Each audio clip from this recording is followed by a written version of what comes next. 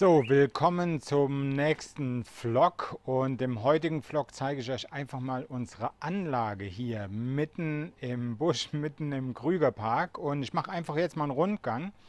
Nachdem wir den ersten Tag oder am ersten Tag wirklich alles mitgenommen haben, was wir konnten, äh, Flugverspätung, Koffer weg, äh, der mittlerweile aber wieder da ist, und äh, dann noch wirklich äh, richtig, richtig heftigen Regen.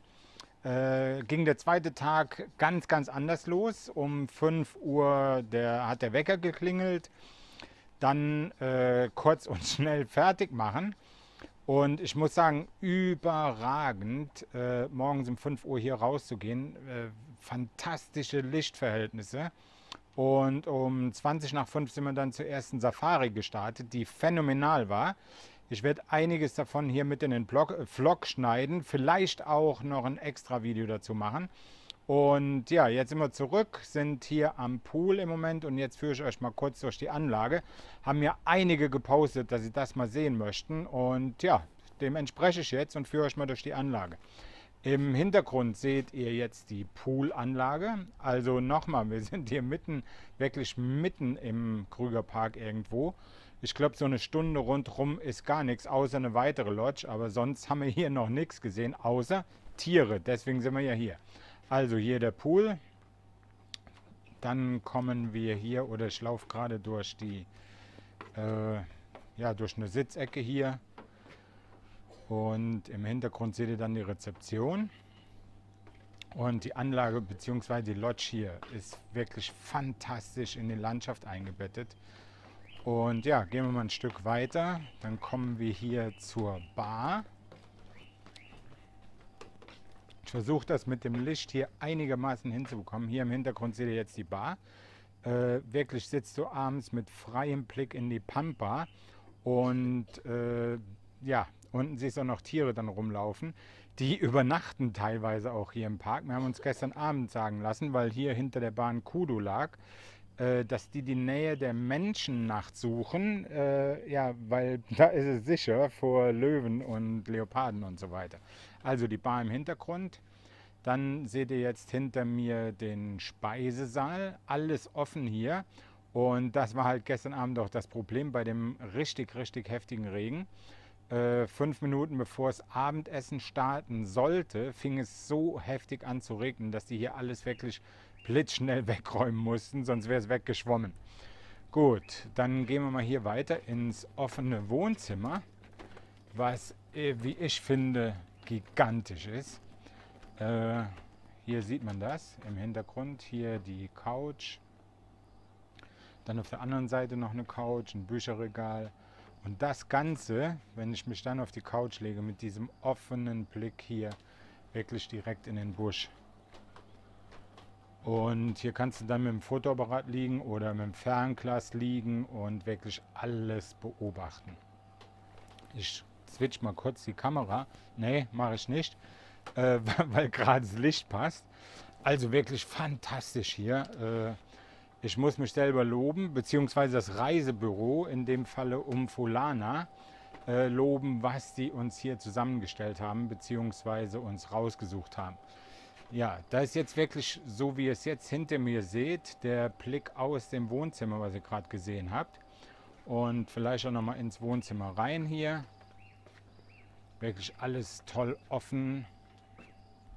So, und da hinten im Hintergrund, über meine Schulter jetzt oder neben meine Schulter, jetzt über meine Schulter, äh, seht ihr die Zelte, wo wir drin wohnen hier. Äh, sind wirklich sehr weit auseinander, sehr weitläufig hier und wir gehen auch jetzt mal zu unserem Zelt runter. Äh, Zelt ist vielleicht etwas äh, übertrieben. Äh, es ist im Zeltstil gebaut. So, jetzt wäre ich fast noch auf die Schnauze gefallen. Im Zeltstil gebaut äh, aber es sind schon eher Zimmer, würde ich sagen. So, gehen wir mal runter. Das ist jetzt ein klein bisschen weiter. So, ihr seht da unten im Hintergrund die Dächer. Da ist unsere, unser Zimmer, unser Zelt, wie auch immer. Und ich muss ganz ehrlich sagen, auch einen lieben, lieben Gruß an den Afrika-Spezialisten Hans-Jürgen Röttger. Ist wirklich absolut toll hier. Auch Alisa ist absolut begeistert. Wir haben heute Morgen eine, oder gestern Abend schon einen gigantisch guten Game Drive gehabt. Heute Morgen ebenso wieder. Äh, haben schon drei der Big Five gesehen. Äh, gestern Nashörner, heute Morgen als allererstes eine Giraffe und ein Elefant, der wirklich nur 1,50 Meter von uns entfernt war. So, hier im Background jetzt nochmal der Speisesaal. Ihr seht, hier vorne ist unser Tisch. Da in der Mitte, da ist unser Tisch. Da sitzen wir beim Frühstück, Mittag und Abendessen. So, und dann geht es jetzt hier mal runter. Jetzt werdet ihr merken, das ist relativ weit und ich muss hier, liebe Leute, leider ganz kurz die Sonnenbrille anziehen, weil äh, sonst ist es wirklich bei, bei den Lichtverhältnissen kaum für die Augen oder kann nicht gut sein für die Augen. Seht ihr hier im Hintergrund den Grillplatz. Es gibt heute oder morgen Abend hier ein Grillbuffet. Äh, die Lodge hat allerdings, sage ich direkt dabei, nur acht Zimmer, heißt also maximal 16 Gäste hier. Momentan sind es 14 und davon reist die Hälfte morgen früh, glaube ich, wieder ab. Wir bleiben bis Mittwoch. Und äh, ich vermute mal, dass deswegen, weil so viele Gäste hier sind, das Ganze wirklich heute Abend stattfindet mit dem Grillbuffet. So, und ihr merkt, es sind einige Stufen zu laufen. Ich drehe noch mal ein bisschen um. Hoffe, da ist jetzt vom Licht alles okay. Ich werde den Vlog so online stellen und nicht schneiden. Da seht ihr die Zelte. Und jetzt gehen wir mal hier im Hintergrund unten seht ihr jetzt unseres und da gehen wir jetzt runter.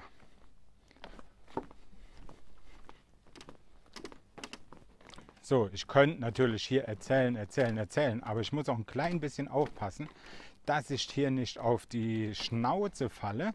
Sonst habt ihr natürlich im Vlog schön was zu lachen. Äh, das will ich aber in dem Fall äh, vermeiden. Denn das sind hier schon, ja, im Dunkeln ist es ganz gravierend. Kommt auch jeden Abend einer mit, der uns den Weg hier leuchtet. Ja, und jetzt sind wir auch gleich da.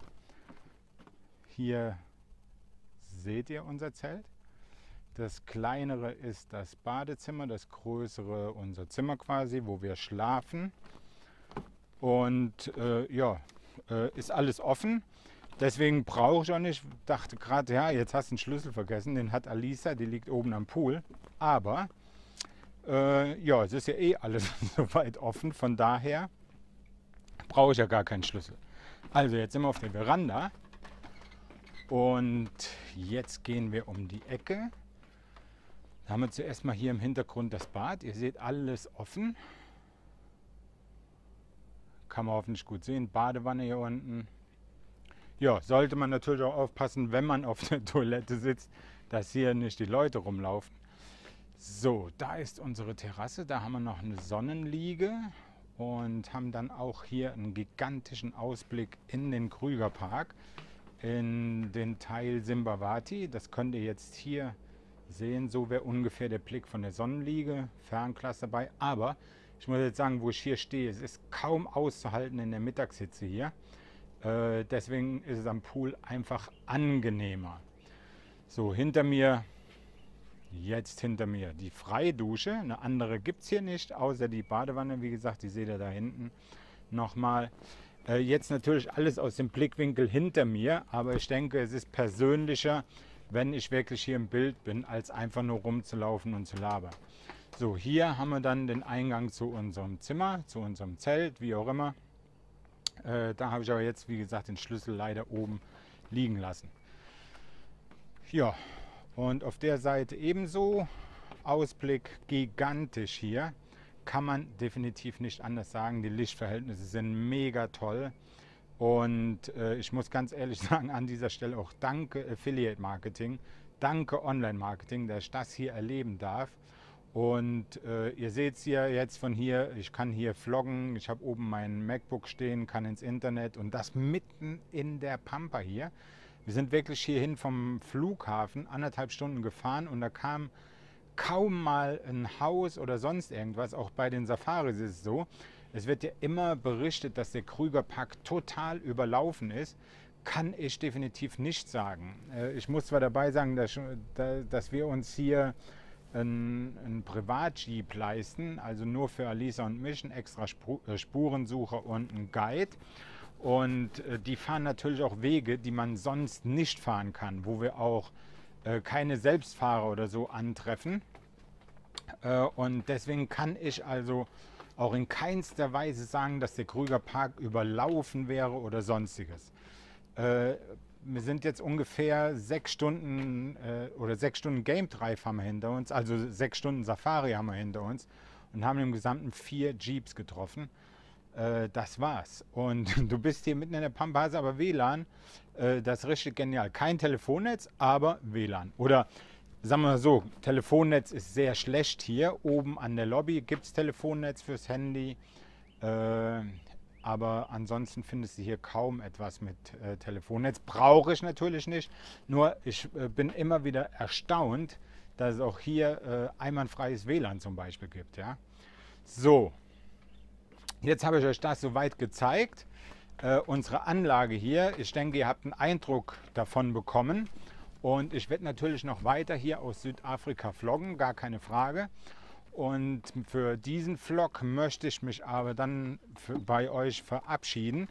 Wem dieser Vlog gefallen hat, gebt bitte einen Daumen nach oben, like das Video, äh, abonniert meinen YouTube-Kanal, äh, shared das Video, schreibt einen Kommentar unten drunter, was ihr vielleicht noch sehen wollt. Ich versuche es möglich zu machen. Ist nicht alles möglich, aber schreibt mir es einfach in die Kommentare, schreibt in die Kommentare, wie es euch gefallen hat. Und dann würde ich sagen, wir sehen uns im nächsten Vlog. Ciao, euer Ralf.